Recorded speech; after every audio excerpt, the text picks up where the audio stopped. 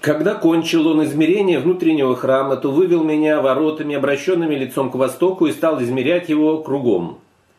Он измерил восточную сторону тростью измерения и намерил тростью измерения всего 500 тростей. В северной стороне той же тростью измерения намерил всего 500 тростей. В южной стороне намерил тростью измерения также 500 тростей. Поворотив к западной стороне, он намерил тростью измерения 500 тростей.